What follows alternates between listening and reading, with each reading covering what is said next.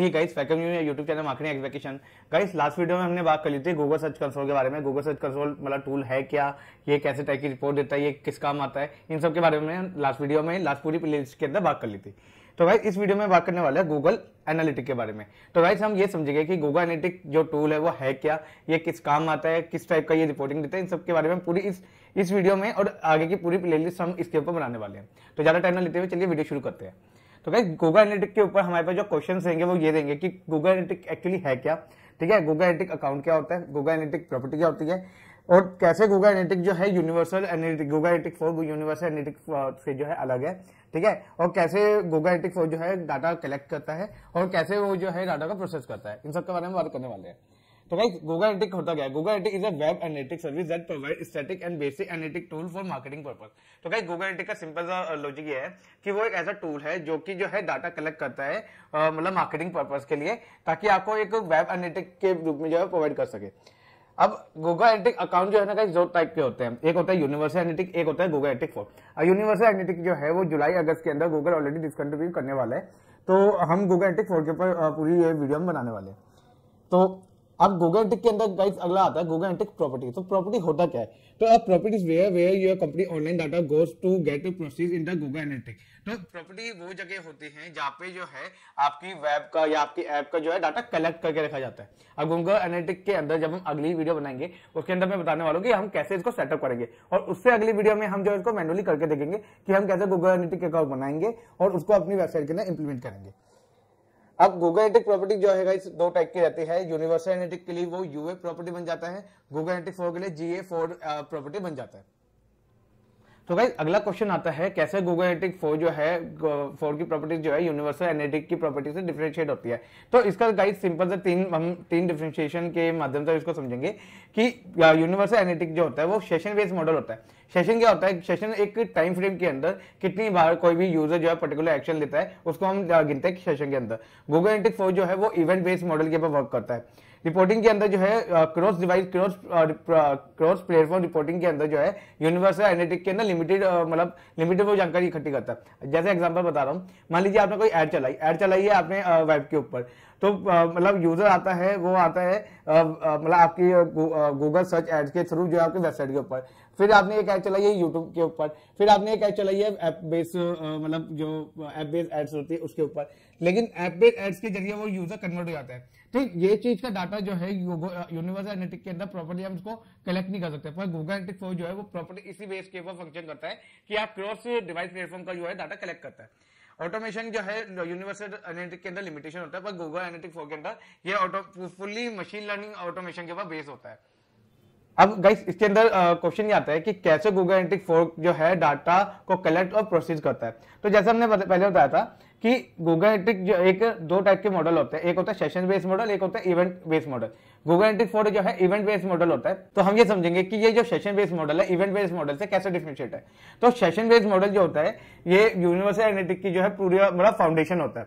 लेकिन Google analytic four के अंदर जो है इवेंट बेस्ड मॉडल होता है। इवेंट क्या होता है ना, कि जब भी कोई यूज़र इंटरेक्शन करता है ना, उसको जो है हम एक इवेंट काउंट करते हैं। जैसे मान लीजिए कोई यूज़र जो है मतलब यूज़र एस के थ्रू आपकी वेबसाइट पे आया तो पहले आपकी वेबसाइट का पेज लोड होगा, वो गिना जाएगा पेज व्यू के अंदर। देन उसके बाद यूज़र किसी पर्टिकुलर बटन के ऊपर क्लिक करता है, वो गिना जाएगा क्लिक के अंदर।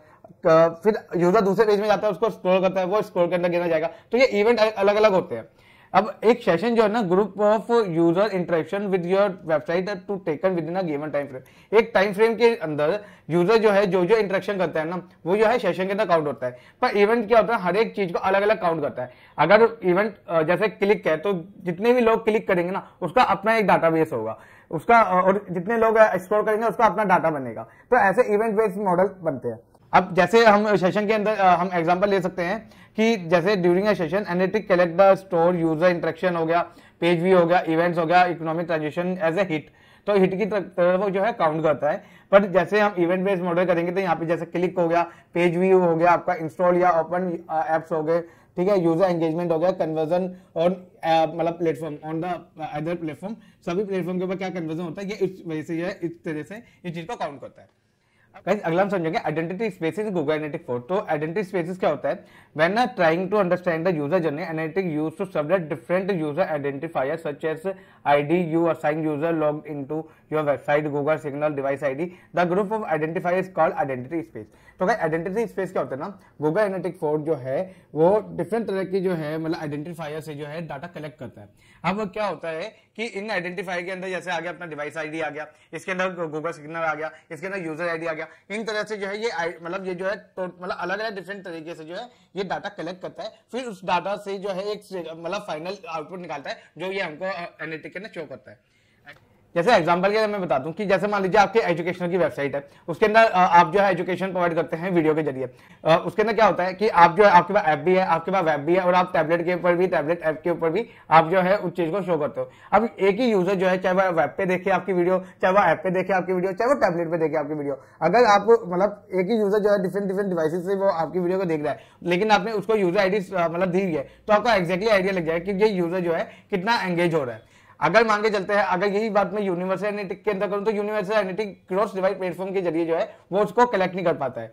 मतलब यूनिवर्सल अगर वेब पे है तो वो मतलब ऐप पे क्या हो रहा है, उसको पता ही नहीं लगेगा। लेकिन गूगल एनेटिक फोर जो है, एक पूरा पूरा मतलब कॉम्बिनेशन है। मतलब इन तीनों का, एक अपना डिवाइस आईडी होगा, एक अपना गूगल सिग्नल हो गया, एक अपना यूज़र आईडी होगा। इनका एक कॉम्बिनेशन के ज़रिए जो है मतलब एक डाटा कलेक्ट करता है फिर डाटा का फाइनल आउटपुट जो है गूगल एटी फोर आपको दिखाता है।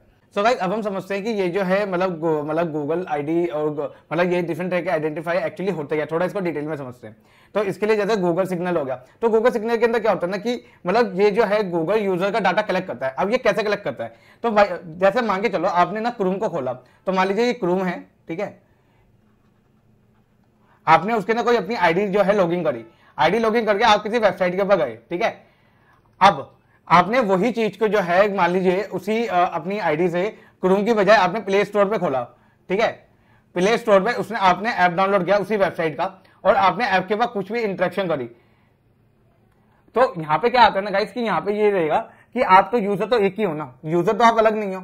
आपने ही मतलब आप ही ने यहाँ पे आपने जो है क्रूम खोला, आपने प्ले स्टोर खोला। आप गूगल सिग्नल के ज़रिए क्या होगा? गूगल के ये जो सारे ऐप ना टोटल इंटीग्रेटेड रहते हैं। अगर आपने देखा होगा आप एक ही आईडी से क्रोम भी चला सकते हो, उसी आईडी से प्ले स्टोर भी चला सकते हो। और मज़े की बात क्या है ना गूगल का अपना एंड्रॉइड प्लेटफॉर्म है। तो गूगल के एंड्रॉइड प्लेटफॉर्म में गूगल आपको ट्रैक करता है कि आप क्या क्या एक्टिविटी कर रहे हो। तो वो जो है गूगल सिग्नल के अंदर आता है। तो ये तो हो गया गाइस गूगल सिग्नल अगला आता है डिवाइस आईडी अब डिवाइस आईडी के अंदर होता क्या गाइस डिवाइस आईडी मान लीजिए कि आपने अब दो डिफरेंट डिवाइसेस से मतलब दो डिफरेंट डिवाइसेस से जो है, आप जो है सेम मतलब सेम टाइप के इंट्रेक्शन कर रहे हो। तो वो डिवाइस आईडी के अंदर काउंट हो जाएगा यूज़र आईडी आपने मतलब आप किसी यूज़र को जो है पर्टिकुलर आईडी असाइन कर देते हो। अब वो यूज़र कहीं से भी वो कुछ भी इंट्रेक्शन करे, वो यूज़र आईडी के अंदर आ जाता है। तो अगर एक यूज़र हम ये मांगे चलते हैं, एक यूज़र जो है मतलब गूगल सिग्नल के ज़रिए भी डाटा कलेक्ट हो रहा है। उसका डाटा जो है फ़ोन से भी मतलब डिवाइस से भी कलेक्ट हो रहा है। उसका पर्टिकुलर यूज़र आईडी से भी डाटा कलेक्ट हो रहा है। तो तब जाकर के इन तीनों के कॉम्बिनेशन के ज़रिए जो है एक फाइनल आउटपुट निकलता है, जो गूगल एंट्रिक फोर में आपको दिखाता है। ठीक है? तो ये सब ये होते हैं आइडेंटिफायर जो गूगल जो है गूगल यूज़ करता है गूगल एंट्री फोर के अंदर। उम्मीद है आपको आज की वीडियो समझ आई होगी। नेक्स्ट वीडियो में हम बात करने वाले हैं कैसे हम गूगल एंट्री फोर के अकाउंट को सेटअप करेंगे। मतलब क्या? कि मान लीजिए कि आपके पास जो है ऐप भी है, मान लीजिए आपके पास वेबसाइट भी है, मान लीजिए आपके पास डिफरेंट तरह की जो है मतलब वेबसाइट है डिफरेंट तरह के एप्स है तो आप उसके ज़रिए कैसे आप अपने अकाउंट को सेटअप करेंगे? और उसके नेक्स्ट वीडियो में मैं इसको प्रैक्टिकली करके दिखाऊँगा कि आप कैसे जो है वेब के अंदर अपनी गूगल एंट्रिक को जो एंट्रिक फोर को अकाउंट को जो है मतलब मतलब इंप्लीमेंट करेंगे। ठीक है? तो आज की वीडियो में इतना ही। This is Kishan signing off